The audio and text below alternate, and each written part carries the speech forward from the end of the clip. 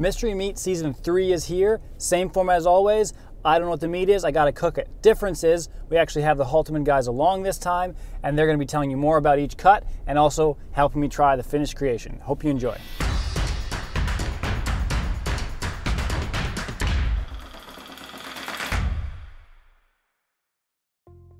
All right, folks, welcome to another episode. We got Mike from Halteman here, and we're about to dive into whatever he's gonna surprise us with today. All right, let's get to it. I think you'll love the love this product. This is going to go great on the fire pit. Sound like you said these, so there's probably more than one. I messed up there. um, it seems, I don't know. I don't. I'm not even gonna guess. It, it's squishy. Just say that. Take the twine off here. Oh, there we go. This is a first for the show. We got ourselves some burgers that are stuffed with, I'm gonna say cheddar, but I don't know exactly what cheese that is. What, Yeah, what cheese? Cheddar. And then they also have uh, bacon in there. Oh, really? Yes. So the bacon's ground in. Oh, you can see the flecks of fat in there, sure enough. Yep. So we bacon's use ground in with it. bacon bits. We use bacon bits and cheddar cheese, and that's a uh, high temp cheddar cheese in there, so it doesn't uh, drip out as quick Okay, uh, over the fire. sure. So we call those our bacon cheddar burger. Okay. Um, they're very, yeah, they're very popular. We put some uh, brisket fat in there. Okay. So we think the brisket fat is, it helps keep it moist when you're cooking Right.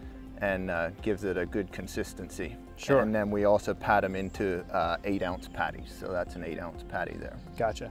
All right, so what I'm gonna do is I'm gonna um, go either side with a little Montreal steak seasoning and um, just real simple, not tons because all we got going on inside the burger. I wanna make sure that that is allowed its chance to shine through. And then we'll go right on the grill, pretty high heat, and we'll try to pull them off about a medium uh, internal, let them rest just a little bit, and then uh, see how they taste. Sounds good.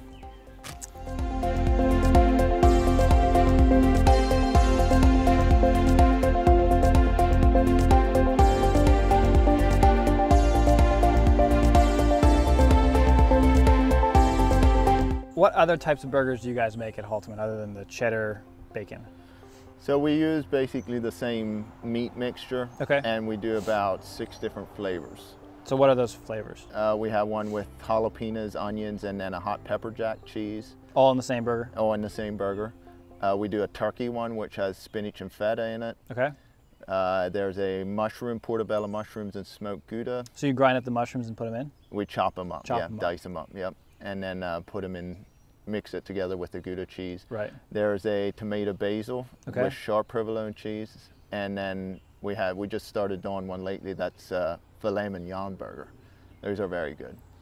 And So- probably kind of expensive. A little. um, and then we have just your regular chuck Just- just patties chopped too. patties, that- yes. Cool.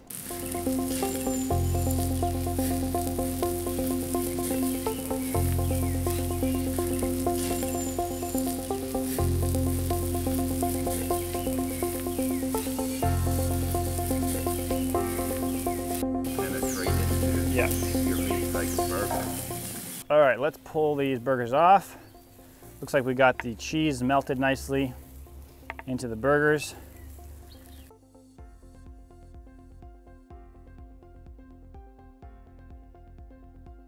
So we got our cheddar bacon burgers pulled off. You could definitely see the cheddar was melting in as they were cooking, which is awesome. Um, we let, let them rest just a little bit.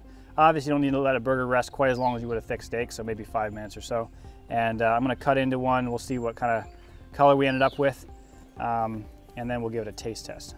So you can see all the juice running out of there at about a medium well. Um, and part of that is gonna be the bacon and also the cheddar that's adding that moisture.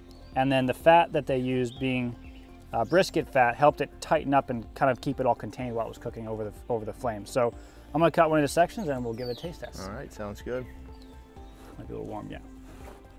Mmm. The cheddar really comes out. Yeah, it does. And I like actually more than the I was expecting. I like cheddar. the um, the char that the uh, wood gives it gives it that extra flavor. That's really, really good. If you had like two of those, like a brioche bun, like it would be a real feast. Put some onions on there, yeah. I'm actually surprised how much you taste the cheddar in that. But I guess cheddar is it had cheese that definitely has some flavor to it. And you have a lot in there, so as it kind of melts, it kind of adds flavor to the whole thing. Yeah, and as you can see there on the side, if you look at it, if you use regular cheddar in there, that'll all be kind of oozing away. But the high temp cheddar there, it kind of keeps its form and it it doesn't just all melt away out of the burger.